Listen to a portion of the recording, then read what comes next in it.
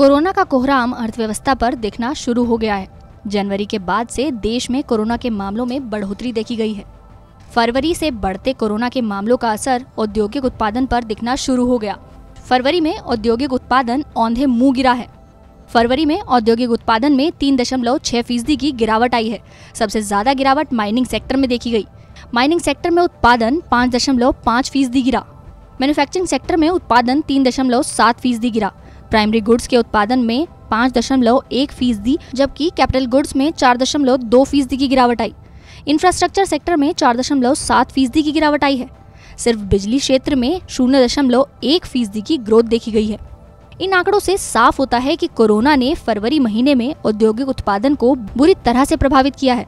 औद्योगिक उत्पादन का गिरना अर्थव्यवस्था के लिए अच्छा संकेत नहीं है। इसका असर सीधे आर्थिक ग्रोथ पर पड़ता है। औद्योगिक उत्पादन गिरने का मतलब होता है कि उद्योगों ने पहले से कम माल तैयार किया है। इसका असर बाज़ार में बिक्री पर भी पड़ता है। दूसरी सेवाएँ भी इससे प्रभावित होती हैं, जिनमें माल ढुलाई, इंश्योरेंस, गोदाम, वितरण जैसी तमाम सेवाएँ शामिल हैं। औद्योगिक उत्पादन के बाद रिटेल महँगाई के आंकड़े भी चिंता बढ़ाने वाले हैं। मार्च में रिटेल महँगाई दर बढ़कर पाँच दशमलव पाँच दो फ़ीसदी हो गई, जो फरवरी में पाँच दशमलव शून्य तीन फ़ीसदी थी। खाने पीने की चीज़ें महँगे होने से रिटेल महँगाई में इजाफा देखने को मिला है। मार्च में पेट्रोल और डीजल की कीमतों में भी तेज़ी देखी गई थी। इसका असर भी रिटेल महँगाई के आंकड़ों पर देखा गया है। हालाँकि अच्छी बात यह है कि महँगाई दर अभी भी आरबीआई के लक्ष्य के मुताबिक है।